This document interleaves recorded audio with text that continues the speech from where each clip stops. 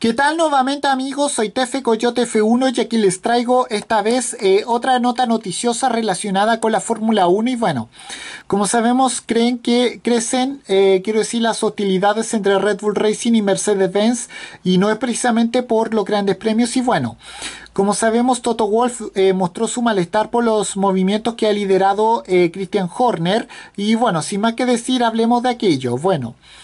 Bueno, Red Bull se encuentra en la última eh, fase del acicalamiento eh, de su cuartel central de Milton Keynes, el cual va el cual va a albergar las instalaciones de su nueva filial Red Bull Powertrains, que no es otra cosa que el salto de la escudería de la bebida energética ha hecho a fabricar, heredando tecnología de la marca Honda, sus propias unidades de potencia en Fórmula 1. Bueno, uno de los problemas a los que se enfrenta eh, Red Bull Racing es la falta personal, encontrar, encontrar trabajadores bastante experimentados en el Gran Circo, en los alrededores de, del circuito de Silverstone, donde se concentran 7 de los 10 eh, conjuntos de la máxima categoría relevante. Es relativamente sencillo, gente que salta de estructura en, eh, de equipo en equipo buscando un mejor futuro. Bueno, pero al hablar de motores, la cosa eh, va cambiando y más de alto rendimiento. Honda fabrica sus unidades de potencia en Japón y donde pensar en tras base de personal resulta totalmente difícil. Ferrari lo fabrica todo en Maranello y, y Renault usa su fábrica de Viry-Chatillon en Francia, que si bien es cierto que está apenas 300 kilómetros en línea recta implica cruzar el Canal de la Mancha. Bueno, queda, queda Mercedes y su, eh, y su, mega, y su mega fábrica High Performance Powertrains en Brixworth, que está junto a las antiguas, eh, las antiguas instalaciones de la,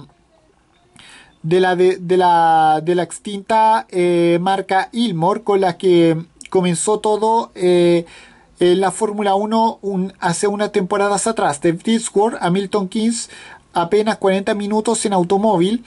eh, factible para cualquier empleado que se al que se le oferte mejores condiciones y que tan siquiera se vea obligado a cambiarse de domicilio. Bueno, Toto Wolff es consciente de esta situación, sabía que desde el primer momento Red Bull eh, iba a tratar de engatusar a sus mejores técnicos, razón, eh, motivo por la que quisieron blindar a gente como Andy Cowell, al que diseñaron un entretenimiento con un gran salario a cambio de simplemente no marcharse de la marca de la estrella, pero no puede blindar a toda una factoría. Bueno, eh, el mismísimo Wolf se encuentra eh, con un galimatías porque por un lado es de mal gusto que se queden que se queden sus empleados algo que algo que él eh, hizo en el pasado pero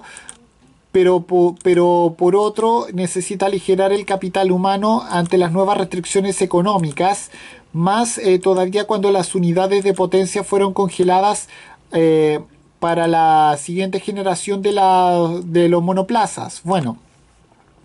bueno, el austriaco piensa que Red Bull ya ha fichado unos 15 eh, ex trabajadores de Mercedes, algo que asegura no preocuparle porque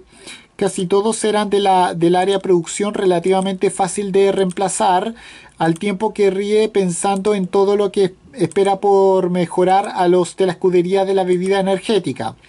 El, bueno, el gesto le cambia a Toto Wolf cuando habla